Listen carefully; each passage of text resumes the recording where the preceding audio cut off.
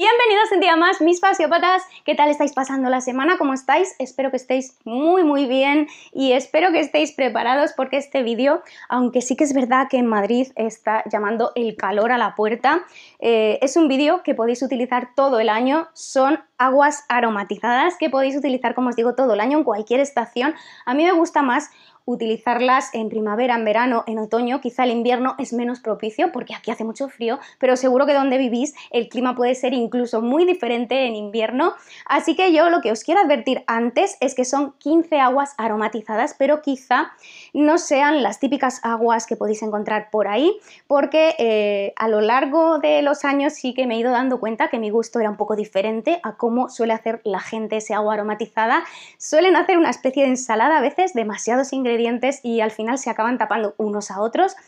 A mí me gusta utilizar un solo ingrediente y luego utilizar un ingrediente acompañante, un ingrediente que lo matice, que potencie el sabor o que incluso rebaje el sabor o que eh, haga alguna especie de diferencia a ese sabor, pero sin matarlo, sino matizándolo.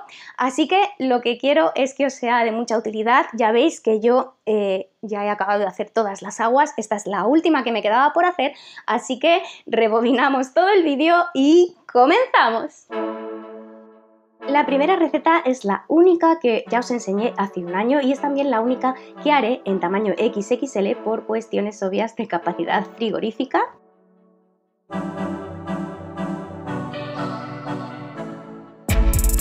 En aquella ocasión no tenía albahaca fresca en casa, la tuve que infusionar, pero hoy sí que la tengo, así que lo vamos a hacer directamente en el agua con los dos productos frescos y es la mejor manera de que se transfieran dejándolo un par de horas, tres horas en el frigorífico macerando.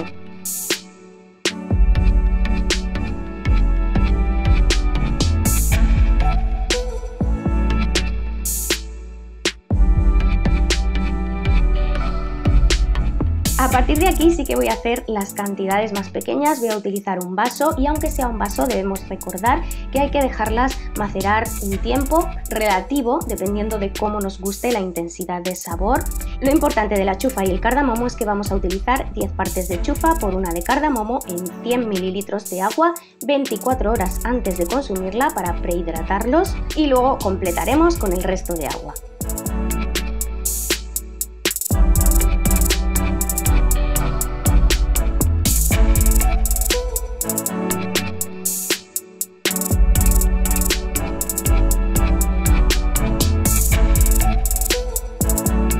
Y si os gustan los sabores agridulces, esta es vuestra opción 10 porque la canela matiza esa acidez de una buena manzana ambrosía y también podemos dejarla eh, macerar durante dos o tres horas, refrigerarla o no, eso irá en función de vuestros gustos.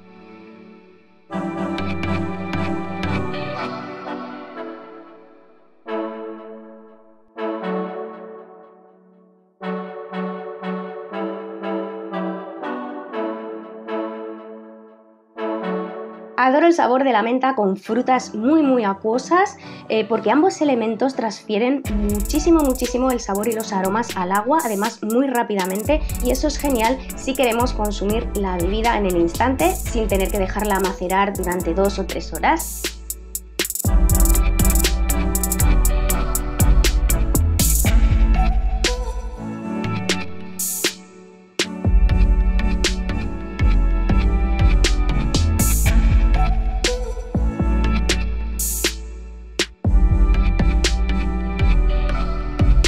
Y ahora sí que utilizaré esta técnica con el infusionador porque no tengo romero fresco y lo que busco es extraer la máxima sustancia posible y sabor de ese romero seco que le dará un punto muy muy especial a ese lado agrio del pomelo.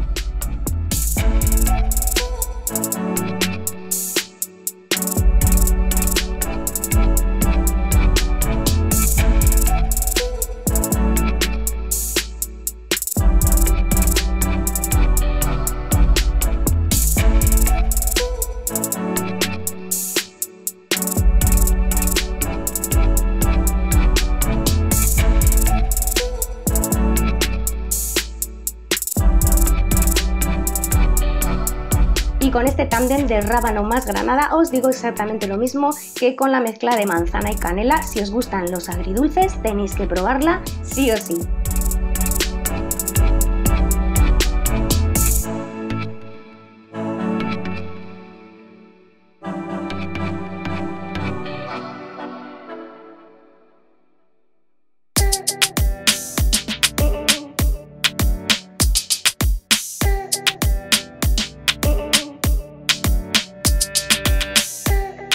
Esta es una de mis aguas preferidas, pepino y pétalos de rosa.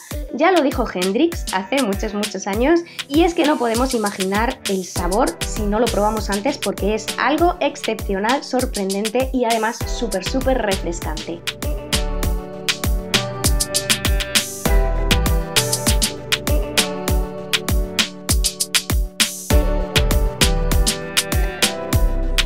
Quizá esta sea el agua aromatizada o perfumada que más hayáis visto, es la más básica y el truco es triturar eh, alguna unidad antes de añadirle el agua, así la transferencia de sabor también es mucho más rápida y mucho más intensa.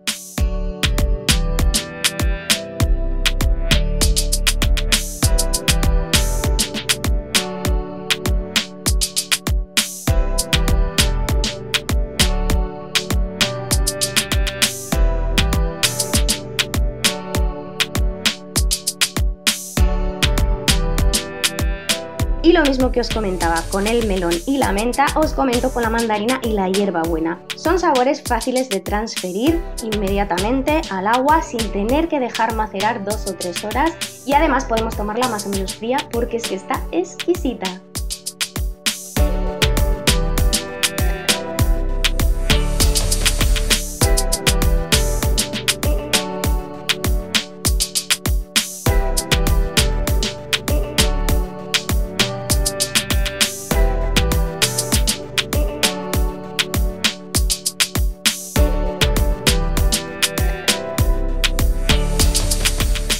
El sabor de la Navidad en junio, julio o agosto, esta es la mejor manera de encontrarlo. Naranja más anís y clavo, estos dos últimos previamente infusionados como ya os he mostrado antes.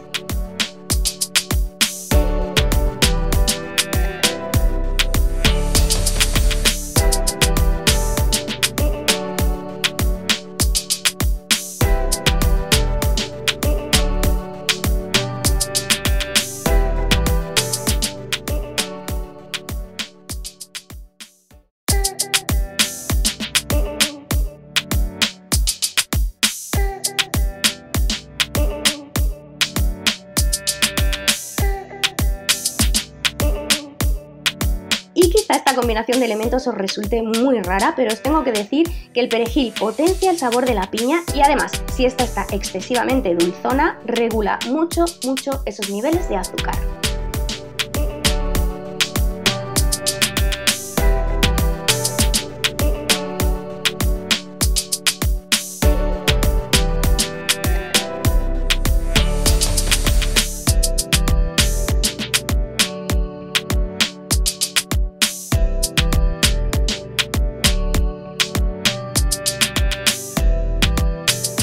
Que ya estéis pensando en probar el pepino y las rosas, os comunico que tenéis que probar también esta de pera con hibiscos, porque es otro de esos matices que no se pueden describir a través de una pantalla que tenéis que probar y juzgar por vosotros mismos.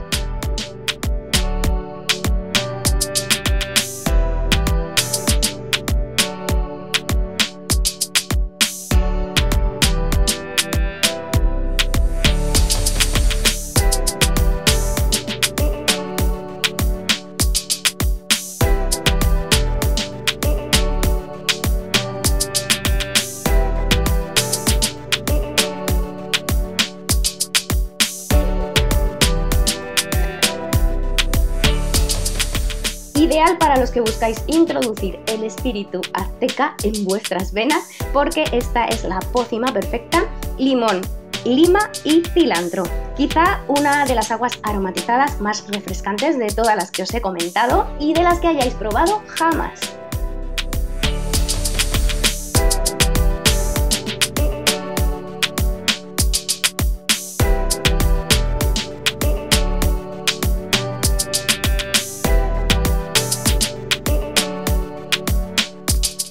Los que adoráis el coco tanto tanto como yo, os quiero dar esta receta, pero antes os quiero mostrar cómo pelar una hoja de aloe vera. Es muy fácil, quito los extremos de esta manera y me quedo con el gel central que trocearé y congelaré. Y este es el elemento perfecto para rebajar esa capacidad dulzona que tiene muchas veces el agua de coco.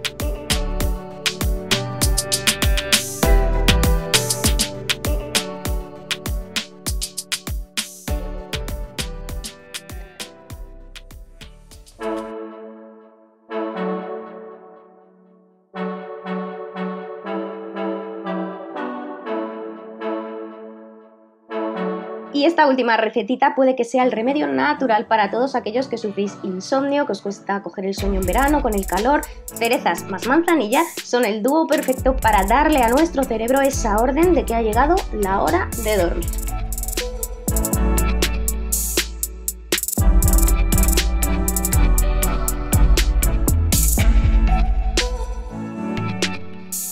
Yo me quedo aquí mis hermosos, ya veis que son súper fáciles, ya veis que hay para todos los gustos, porque yo creo que entre 15 vais a poder elegir según el gusto que tengáis.